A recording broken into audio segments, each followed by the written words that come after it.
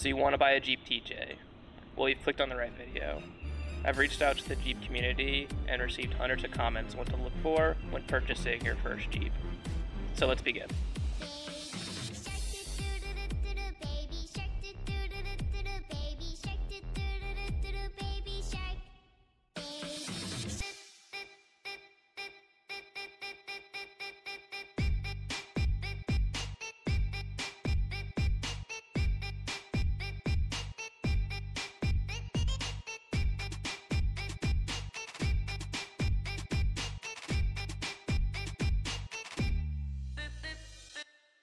So everyone will tell you, and they're right, the most important thing to look for when buying your Jeep TJ is to check the frame for rust.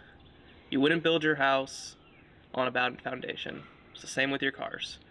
If your frame's rusty, the Jeep is pretty much worthless. The most important spot to check is what people call the belly pan, as you see right here. It holds up the transfer case. Uh, mine has these spacers right here. Normally those aren't there unless there's a drop like mine has. Normally this pan right here is touching the frame right here. And you can't really see if there's rust because of that. Right over here in this little crevice is where your Jeep is most likely to have rust. If it's gonna have rust anywhere on the frame, it's gonna be right there. But you can't always see it. So here's a little trick to check for rust. Right here is a little hole and you can put your finger in there and check for rust. There'll be chunks of it like bark of a tree. And if there's no rust there, chances are the rest of your frame is pristine. Where's the knife? Oh, you're right. So you're gonna wanna bring a knife with you when checking the frame. You can bring a screwdriver too, just something to poke with. So you're gonna open up your knife and you're just gonna kind of check around here and hopefully your knife doesn't go through any of it. And if you don't have rust there, like I said earlier, the rest of your Jeep should be fine. So while you're down here looking at the frame, just take a quick look at the body mounts. You can poke your knife up here as well. Make sure these aren't rusted out because this is what actually keeps your cab attached to your frame. And you can imagine what happens when your cab's not attached to your frame and you try driving your Jeep.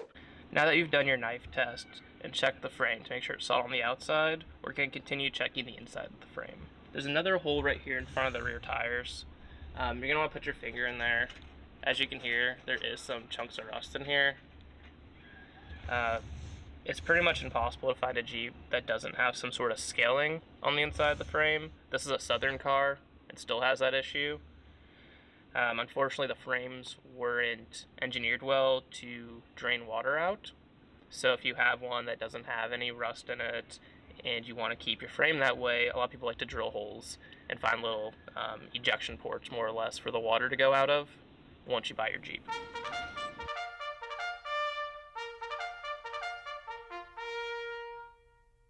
So almost just as important as having a good frame is having a good grill on your Jeep. You want your nice seven slots showing, your Nazi killing grill for the world to see.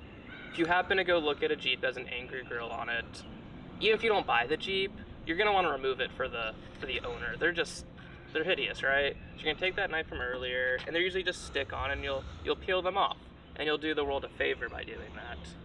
I mean, it's not that bad. Um, excuse me? The Angry Beard's not that bad. I think it looks kind of cool, honestly. Did you just say? What? It looks kind of good.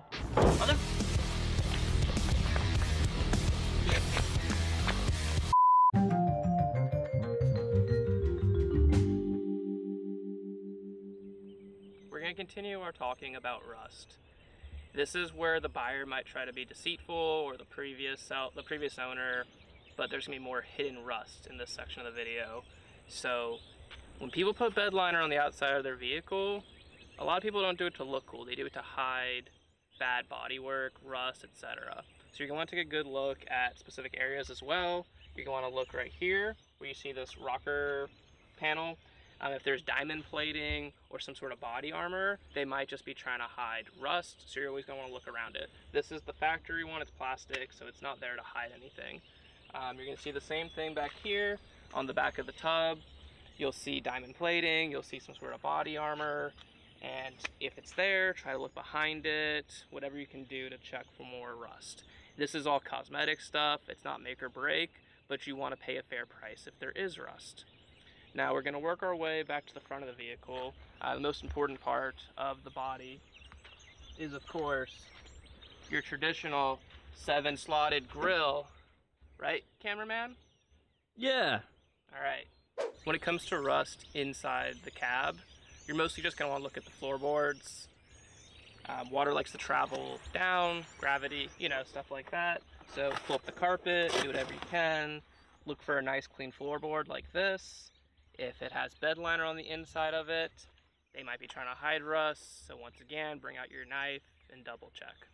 Keep an eye out as well for LED lights drilled into the body. People will just screw them in. They won't prep the body right. They'll put them right here on the A-pillar. They'll put them on the hood. They're cheap and people like to put them everywhere. Um, those screw holes will create rust. Those LEDs will fail. And then when you pull the LED out, you're gonna have these ugly holes that have rust in them. And it's just gonna make the Jeep look cheap and kind of devalue it. So you probably heard a lot of people say owning a Jeep is a lifestyle. And that's true if it's your daily driver. So before you buy a Jeep, make sure you know what you want it to be used for. Do you want it as a weekend cruiser? You want one that's stock and you can drive and get groceries with and just have a fun toot around vehicle? You have to figure those things out because when you buy the vehicle, it's going to be beneficial to buy it set up the way you want it instead of modifying it. So my Jeep here has a very modest lift. It's a 2 inch suspension lift and a 1 inch body lift. It allows you to clear tires about 33 inches. This is kind of the in-between lifestyle, so this Jeep could be used for off-road, and it's got a little bit extra clearance, but it also hasn't affected the ride quality very much. When you start lifting your vehicles over 4 inches, that's when a lot of the geometry gets exponentially um, altered, and a lot more modifications and money need to be put at the Jeep to make it more streetable. There's a couple major changes in the Jeep TJ between its life cycle in 97 and 2006. Um, starting with 97, before the Jeep was even a TJ, it had leaf spring suspension. That's probably what brought you to this TJ, as you heard they're the most comfortable, is because just like in our Avalanche vehicle, coils make these vehicles more comfortable. And this vehicle has front and rear coils. Going over to year 2000, the Jeep finally got rid of its distributor and has a coil on plug setup. This is something that you're want to look at if you don't know any good mechanics or um, you don't own a timing light or things like that. Most mechanics nowadays are just parts changers, they're not real mechanics, they're not know how to work on distributors. So if you just want to get that factor away from your Jeep and make it something more manageable for uh, a new age mechanic to work on, you're going to want something past year 2000. Year 2004, they introduced the Jeep LJ. The LJ has a longer wheelbase by I believe 10 inches. So if you want to have uh, passengers, you want four people in your vehicle or three people in your vehicle, they'll have more legroom. And then finally in 2005 and 2006, Jeep switched from their five-speed manual to their six-speed manual. This manual isn't known for being as reliable. They have issues with that sixth gear. Um, so you're going to want to probably stay in the sweet spot of year 2000 to 2004. This section can apply to buying any vehicle. However, I'm going to um, show you how it looks on the Jeep.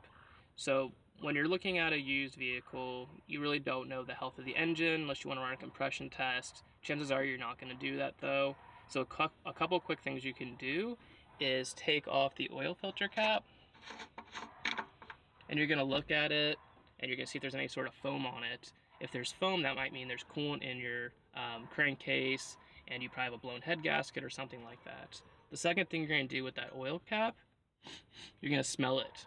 If it smells like gas, you have a leaking injector or something else wrong with the intake manifold, um, possibly the valve train, you're just probably going to want to back away from that Jeep. We're going to put this back on. The next thing you're going to do is you're going to take off the radiator cap or even just look at the coolant reservoir. Um, right here is the coolant reservoir tank. Um, you're going to want to make sure that's a nice clear tank. Um, and by clear tank, I don't necessarily mean the plastic is easy to see through, but the water's not murky. So there's two things really to look for. One is a, it's called a milkshake. It's when your oil mixes with your coolant. Once again, head gasket. or if someone puts some sort of sealer in there, you'll see like these weird brown chunks floating around in there, and right away you'll know there is an issue, someone's trying to hide. The best way to buy a Jeep is to buy it the way you want it already. You're going to save a lot of money if you wanted a lifted Jeep with expensive wheels and tires on it in the initial purchase. Buyers already know ahead of time they're never going to get back what they put into their Jeep.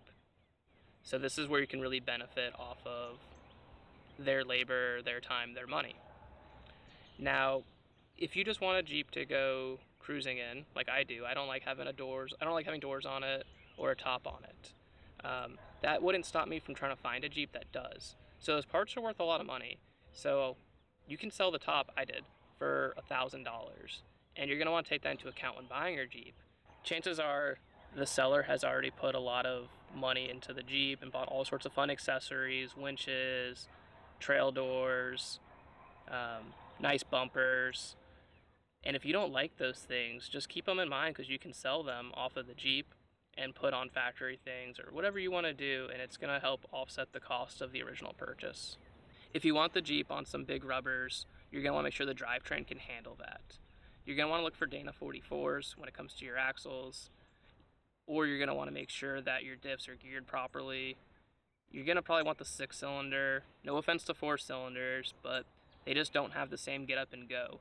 So if you want a vehicle you can take on the highway, you're going to want the six cylinder. If you're just going around town, you never really want to go over 60, then you can go the four cylinder route. You'll save some good money, but Jeeps tend to have like a $1,500 price difference between the two.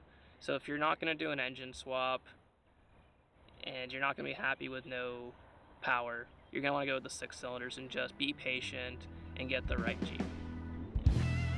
Hey everyone, this is Lucas, the cameraman. Thank you very much for watching this video. This was our second video on this channel.